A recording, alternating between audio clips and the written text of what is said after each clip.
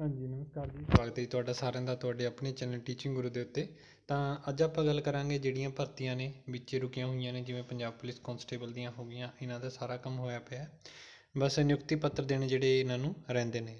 ਠੀਕ ਹੈ ਜੀ, ਤਾਂ ਇਹਦੇ ਬਾਰੇ ਗੱਲ ਕਰਦੇ ਹਾਂ ਕਿ ਜਿਹੜੀਆਂ ਪੋਸਟਾਂ ਨੇ, ਇਹਨਾਂ ਦਾ ਕੀ ਹੋਣਾ ਹੈ ਤੇ ਅੱਗੇ ਜਿਹੜੀਆਂ ਹੋਰ ਪੋਸਟਾਂ ਕਿਹਾ ਸੀਗਾ ਕਿ 25000 ਜਿਹੜੀਆਂ ਪੋਸਟਾਂ ਆਉਣਗੀਆਂ, ਉਹਨਾਂ ਦੇ ਉੱਤੇ ਕੀ ਕਾਰਵਾਈ ਜਿਹੜੀ ਹੈਗੀ ਆ, ਉਹ ਕੀਤੀ ਜਾਵੇਗੀ। ਤਾਂ ਚਲੋ ਵੀਡੀਓ ਨੂੰ ਸ਼ੁਰੂ ਕਰਦੇ ਹਾਂ। ਇਸ ਤੋਂ ਪਹਿਲਾਂ ਜੇਕਰ ਤੁਸੀਂ ਸਾਡੇ ਚੈਨਲ ਤੇ ਪਹਿਲੀ ਵਾਰ ਆਏ ਤਾਂ ਚੈਨਲ ਨੂੰ ਸਬਸਕ੍ਰਾਈਬ ਕਰ ਲਓ। ਬੈਲ ਆਈਕਨ ਨੂੰ ਜ਼ਰੂਰ ਪ੍ਰੈਸ ਕਰਿਓ ਜਿਹਦੇ ਨਾਲ ਆਉਣ ਵਾਲੀ ਵੀਡੀਓ ਦੀ ਨੋਟੀਫਿਕੇਸ਼ਨ ਹੈ ਉਹ ਤੁਹਾਨੂੰ ਮਿਲਦੀ ਰਹੇ।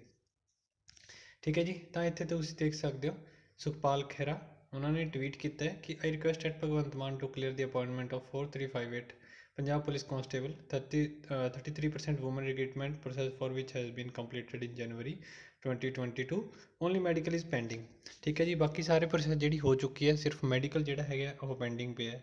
Since CM has promised to give 25000 new job if recruited ਠੀਕ ਹੈ ਕਿੱਥੇ ਗਿਆ it can prevent their migration to other countries ਇਹਦੇ ਨਾਲ ਕੀ ਹੋਊਗਾ ਦੇਖੋ, ਜਿਵੇਂ ਬੱਚੇ ਕੀ ਕਰਦੇ ਨੇ? ਆਪਣੇ ਪੰਜਾਬ ਦੇ ਵਿੱਚ ਤਾਂ ਜ਼ਿਆਦਾ ਜਿਹੜੇ ਹੈਗੇ ਨੇ, ਬਾਹਰ ਚਲੇ ਜਾਂਦੇ ਨੇ। ਕਿਉਂ? ਕਿਉਂਕਿ ਇੱਥੇ ਜੋਬ ਦੀ ਓਪਰਚੁਨਿਟੀ ਨਹੀਂ ਹੈ। ਤੇ ਜਿਹੜੇ ਵਿਚਾਰੇ ਪੜ੍ਹਦੇ ਨੇ ਇੱਥੇ ਬੈਠ ਕੇ, ਉਹਨਾਂ ਵਾਸਤੇ ਟੈਸਟ ਟੈਸਟ ਵੀ ਕਲੀਅਰ ਕਰਦੇ ਨੇ ਫਿਜ਼ੀਕਲ ਵੀ ਕਲੀਅਰ ਕਰਦੇ ਨੇ। ਤੇ ਹੋਰ ਜਿਹੜੇ ਹੈਗੇ ਨੇ ਟਾਸਕ ਸਾਰੇ ਕੰਪਲੀਟ ਕਰਨ ਤੋਂ ਬਾਅਦ ਵੀ ਜਿਹੜੀ ਹੈਗੀ ਹੈ ਜੋਬ ਜਿਹੜੀ ਗਰੰਟੀ ਆ ਉਹ ਨਹੀਂ ਦਿੱਤੀ ਜਾਂਦੀ। ਜੋਬ ਜਿਹੜੀ ਹੈਗੀ ਆ ਉਹ ਨਹੀਂ ਮਿਲ ਰਹੀ ਹੈ। ਹੁਣੇ ਤੁਸੀਂ ਦੇਖ ਸਕਦੇ ਹੋ ਜਿਹੜਾ ਸਿਨੈਰੀਓ ਚੱਲ ਰਿਹਾ ਤਾਂ ਇਹਦੇ ਕਾਰਨ ਕੀ ਹੈ? ਬਾਹਰਲੇ ਦੇਸ਼ਾਂ ਜਾ ਰਹੇ ਨੇ ਮਾਈਗ੍ਰੇਟ ਹੋ ਰਹੇ ਨੇ ਅਦਰ ਕੰਟਰੀਜ਼ ਦੇ ਵਿੱਚ। ਤਾਂ ਉਹੀ ਟਵੀ ਇਹ ਦ- ਕਿਹਾ ਗਿਆ ਭਗਵੰਤ ਮਾਨ ਜੀ ਨੂੰ ਕਿ ਜਿਹੜੀ ਜਲਦੀ ਹੀ ਇਹਨਾਂ ਦੀ ਰਿਕਰੂਟਮੈਂਟ ਦੀ ਪ੍ਰੋਸੈਸ ਹੈ ਜਿਹੜੀ ਪੂਰੀ ਕੀਤੀ ਜਾਵੇ, ਜਿਹੜੇ ਵੀ ਕੈਂਡੀਡੇਟ ਨੇ ਉਹਨਾਂ ਨੂੰ, ਜਿਨ੍ਹਾਂ ਦੇ ਪੇਪਰ ਇਗਜ਼ਾਮ ਕਲੀਅਰ ਨੇ, ਉਹਨਾਂ ਨੂੰ ਰਿਕਰੂ- ਜਿਹੜੇ ਨੌ- ਨਿਯੁਕਤੀ ਪੱਤਰ ਦਿੱਤੇ ਜਾਣ, ਜਿਨ੍ਹਾਂ ਦੀ ਕਾਰਵਾਈ ਅੱਗੇ ਰਹਿੰਦੀ ਹੈ, ਜਿਹੜੀਆਂ ਭਰਤੀਆਂ ਸੀਗੀਆਂ, ਆਪਣੀਆਂ ਜਿਹੜੀਆਂ ਰੱਦ ਕਰ ਦਿੱਤੀ ਗਈਆਂ ਸੀ, ਉਹਨਾਂ ਨੂੰ ਦੁਬਾਰਾ ਕੀਤਾ ਜਾਵੇ। ਤਾਂ ਇੱਥੇ ਤੁਸੀਂ ਨਿਊਜ਼ ਦੇ ਵਿੱਚ ਵੀ ਦੇਖ ਸਕਦੇ ਹੋ ਕਿ ਸੁਖਪਾਲ ਖਹਿਰਾ ਦੀ 4358 ਕਾਂਸਟੇਬਲ ਭਰਤੀ ਨੂੰ ਲੈ ਕੇ ਭਗਵੰਤ ਮਾਨ ਨੂੰ ਅਪੀਲ ਕੀਤੀ ਗਈ ਹੈ। ਟਵਿੱਟਰ ਤੇ ਪੋਸਟ ਪਾ ਕੇ ਜਿਹੜੀ ਹੈਗੀ ਹੈ, ਅਪੀਲ ਕੀਤੀ ਗਈ ਹੈ। ਠੀਕ ਹੈ?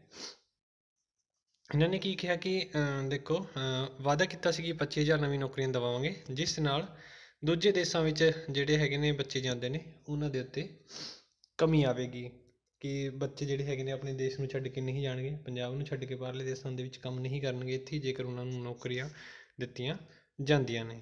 ਠੀਕ ਹੈ ਜੀ? ਤਾਂ ਹੁਣ ਅੱਗੇ ਦੇਖਦੇ ਹਾਂ ਆਪਾਂ, ਕੋਈ ਨਾ ਕੋਈ ਇਹਦੇ ਉੱਤੇ ਕਾਰਵਾਈ ਜਿਹੜੀ ਹੈਗੀ ਹੈ ਜ਼ਰੂਰ ਹੋਵੇਗੀ। ਤੇ ਬਾਕੀ ਜਿਹੜੇ ਕੈਂਡੀਡੇਟ ਨੇ, ਉਹ ਵੀ ਅੱਕੇ ਪਏ ਨੇ। ਕਿ ਵਾਅਦੇ ਤਾਂ ਕੀਤੇ ਸੀਗੇ ਕਿ ਹਾਂ, ਕੰਮ ਜਿਹੜਾ ਹੈਗਾ ਜਲਦ ਹੀ ਪ੍ਰੋਸੈਸ ਦੇ ਵਿੱਚ ਆਵੇਗਾ। ਬਾਕੀ ਚਲੋ ਦੇਖੋ, ਕੰਮ ਚੱਲ ਵੀ ਰਿਹਾ ਹੈ ਤੇ ਜਿਹੜੀਆਂ ਹੁਣ ਇੱਕ ਹੋਰ ਮੈਂ ਵੀਡੀਓ ਪਾਈ ਸੀ ਜਿਹਦੇ ਵਿੱਚ ਨਵੀਆਂ ਪੋਸਟਾਂ ਆਈਆਂ ਨੇ ਪੀਐਸਪੀਸੀਐਲ ਦੀਆਂ, ਤਾਂ ਉਹਨਾਂ ਦੇ ਉੱਤੇ ਵੀ ਤੁਸੀਂ ਗੌਰ ਕਰਿਓ। ਤੇ ਜਿਵੇਂ ਹੀ ਉਹਦਾ ਨੋਟੀਫਿਕੇਸ਼ਨ 30 ਤਰੀਕ ਤੱਕ ਕਿਹਾ ਸੀਗਾ ਕਿ 30 ਤਰੀਕ ਤੱਕ ਜਿਹੜਾ ਨੋਟੀਫਿਕੇਸ਼ਨ ਹੈ ਉਹ ਆਊਟ ਹੈ, ਉਹ ਹੋ ਜਾਵੇਗਾ। ਤਾਂ ਉਹਦੇ ਉੱਤੇ ਵੀ ਤੁਸੀਂ ਥੋੜਾ ਧਿਆਨ ਰੱਖਿਓ। ਬਾਕੀ ਤੁਸੀਂ ਸਾਡੇ ਚੈਨਲ ਨਾਲ ਜੁੜੇ ਰਹੋ। ਮਿਲਦੇ ਹਾਂ ਜੀ ਨੈਕਸਟ ਵੀਡੀਓ ਵਿੱਚ। ਧੰਨਵਾਦ ਜੀ ਤੁਹਾਡਾ ਸਾਰਿਆਂ ਦਾ ਵੀਡੀਓ ਦੇਖਣ ਲਈ। Thank you